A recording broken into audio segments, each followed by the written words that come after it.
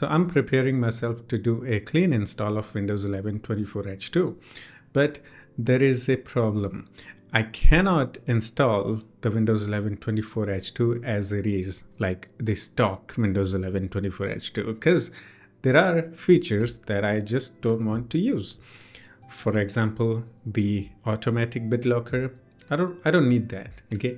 Second, uh, the OneDrive. Now, uh, OneDrive will automatically back up some of the user folders and files uh, like for example the documents desktops and pictures. I think yeah three of them. I don't want that. Plus the bloat. I mean it's not a big deal. We can actually uninstall the bloats after we're done installing windows 11 24h2 but what about the BitLocker in OneDrive? That's something we don't have control over unless we use some third-party softwares like for example the Rufus. Rufus can actually remove system requirements, Microsoft account requirement, plus it can create a local account, plus you can also disable automatic BitLocker. This is actually simplest way to customize the Windows 11 24H2 installation, but you can go even further beyond. There is this thing called answer files or unattend XML file. You can use this simple XML file to modify Windows settings during installation. This is like the official method to automate the uh, Windows installation. So you can create a XML file if you know how to and all that, but don't worry, there is this online tool called unattended generator. It's schneegans.de windows slash unattend generator. So basically it provides you the GUI to uh, create a XML file and you can change a bunch of Windows settings within this XML file and everything will be applied during installation. So let's go through this actually. So first option, we have region and language settings. Here you can automate the language and region plus uh, your keyboard layout, okay, which will be set to default to English and you know you can change it to whatever you want. I want the english so i'm to leave everything as it is. Second processor. You don't want to touch this unless you have the uh, windows arm device. So uh, just choose the Intel AMD 64-bit. Setup settings, here you can bypass the TPM and secure boot uh, if your PC doesn't support okay easily you don't even have to use any third-party software for this this is just simple xml file which will do everything for you and you can also allow Windows 11 to get installed without internet connection. Computer name, you can name your computer right here or Windows will automatically generate a computer name. So if you want to, let's say for example, I'm going to say KB PC okay let's do that. Compact os this is uh, to optimize the windows files. If you use it it's going to compress size of windows that will get installed. Uh, just leave it to let windows decide okay? Time zone you can also automate the time zone here Partitioning, this one is really important. If you're an advanced user, you can go with the manual, but I suggest you guys go with the, you know, uh, partition the disk interactively during Windows setup. Don't touch this, okay? You can do it later when you're installing the Windows. Windows Edition, you can choose which Windows Edition you want to install right here. User account here, you can create a local account within this XML file. Let's say, for example, I'm gonna go and create one account. Let's do a 1212 password just for this example, okay? And yeah, now it's gonna create a local account for me automatically. I don't have to do anything, okay? And after that, password expiration, leave it as it is. Account logout policy, leave it. Uh, Windows Explorer tweaks. If you want to change Windows Explorer settings from here, uh, you can like uh, show hidden files and all that but i suggest you guys to leave it as it is okay you can do that later. And there are some taskbar settings that you can change. So just leave it as it is. This section is basically customizing the some of the windows settings. Okay here i don't use widgets. I'm gonna disable it. I can also use the classic right click menu because windows 11's right click menu kind of sucks. I like the taskbar in center so i'm gonna leave it as it is. You can also disable the windows defender but i don't recommend that unless if you're planning to use some other antivirus, you have the option. Since I just use the Windows Defender, I don't use any other third party, you know, antiviruses, I'm gonna keep it. So for most people, just keep it. Okay. You can also disable the Windows updates which is also not recommended. You can do that after you install the operating system and there is the pause option. So leave it as it is. Disable UAC, I do that after I install the operating system. So I'm gonna leave it as it is. Disable fast startup, yeah, just disable it. Don't ask any question, okay? You don't need this unless if you have a laptop. For laptop, it's good. For desktop, it's not. If you have SSD, it doesn't even matter that much. Yeah, I'm just gonna keep everything as it is, okay? So disable app suggestions. This is like add. So I'm going to disable it.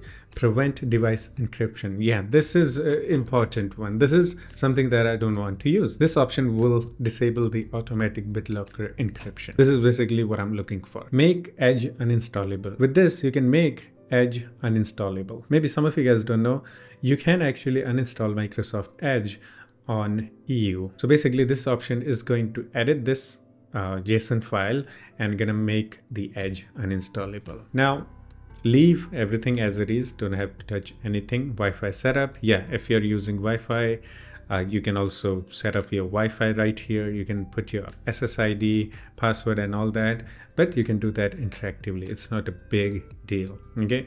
Uh, express settings. You can disable all the you know uh, telemetry and everything here which will be default here. So leave it as it is. Lock keys just uh, use default. Don't have to do anything. This one also leave it as it is. Don't have to do anything but if you want to use some custom wallpaper or something yeah go with it. Now this one is another really important part. Remove bloatware.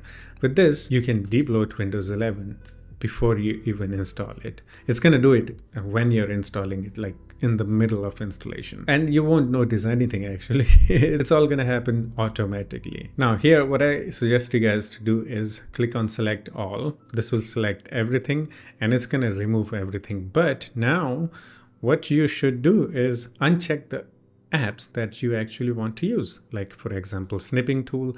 I want that. Powershell. I want that. Onedrive. I don't want that uh, I want the notepad, but the modern one. Where is the modern? Yeah, here. Notepad, I want that. Camera, I want that. Photos, I use it. Paint, I use it. Uh, Windows Terminal, I use it. Oh, I also use the clock calculator. Okay. And Xbox, actually. Yeah, I have some Xbox games. So, yeah, that's all I need. And the rest of them will get removed. But if I need any of these apps, again, I can go and download these from Microsoft Store. No big deal. Okay, so I'm gonna select those. Now we can also customize the start menu and all that here. Don't have to touch anything, but if you want to customize it, yeah, you go ahead and do it. So I'm gonna leave everything as it is. And we are actually done. Yeah, leave all the settings as it is. Don't, don't do anything else okay? Now click on this option download xml just like that. Oh okay yeah it's invalid. You can't have the spaces. Okay so i'm gonna put this dash in here. Now i'm gonna again click on xml now this time it's gonna get downloaded. Go to your downloads folder and then you'll see a xml file which is going to be few kilobytes. Okay it's it's tiny small xml file. Now we need two more things. First the Rufus. This is a free and open source software to create a bootable USB drive for Windows plus Linux and all that. So download that. Now we also need a Windows 11 ISO file, which we can download from official website. Yeah, this is the official website. From here, you can download the ISO file. Now, once you have all the files, run the Rufus. Okay, just double click to run it and uh, this is how it's going to look like. Now select your USB drive in device option and then click on this select option to select the ISO file. Go to your downloads folder and select your Windows 11 24H2 ISO file. Okay, select that. Now you can leave everything as it is. You don't have to touch anything. Click on start and here you'll get this option. Okay, disable BitLocker, remove system requirements and all that.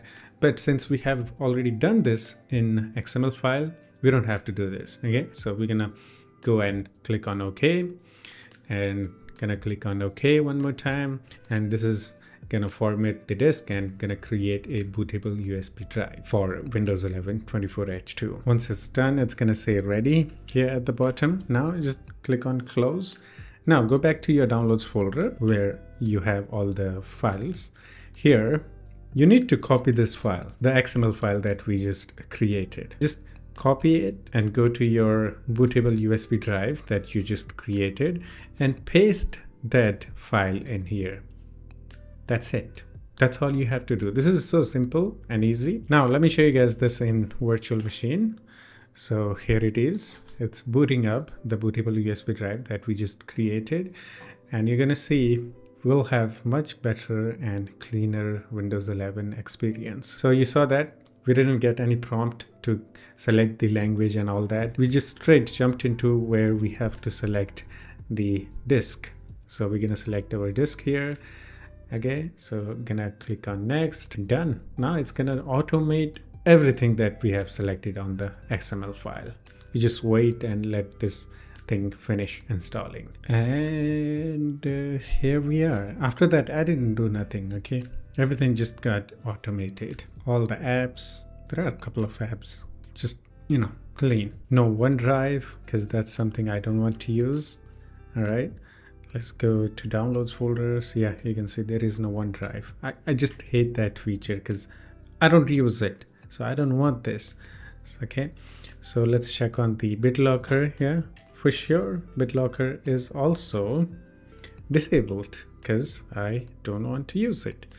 Okay. Much better and cleaner Windows 11 experience. Now I'm gonna go and actually install Windows 11 24H2 with this method because you know I have to do a clean install of Windows 11 24H2 because I have been dual booting Linux and Windows on same drive and I have some issues plus uh, I'll maybe buy some other drive for Linux for dual boot. They'll have separate drive for dual boot.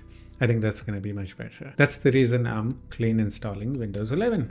And this is how I'm gonna do a clean install of Windows 11, especially the 24H2, because I don't want to use some features. Plus, they are not even optional. Actually, let's check on the uh, recall thingy, because there is a recall thing that is present in 24H2. Let me do it for you, actually. I don't know if it's present. Let's let's actually find out.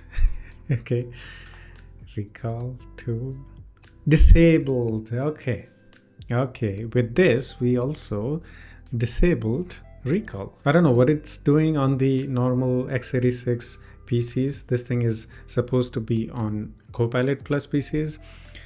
Okay, let's not talk about this. I have already done a video on this. If you're interested, you can go there and watch that. Yeah, that's it. Hope you enjoyed it. But if you still have any questions or you want to discuss something, you can always do the comment and we can have some chit chat in the comment section too. Yeah, I'll see you in the next one. Take care of yourself and have fun. Bye bye.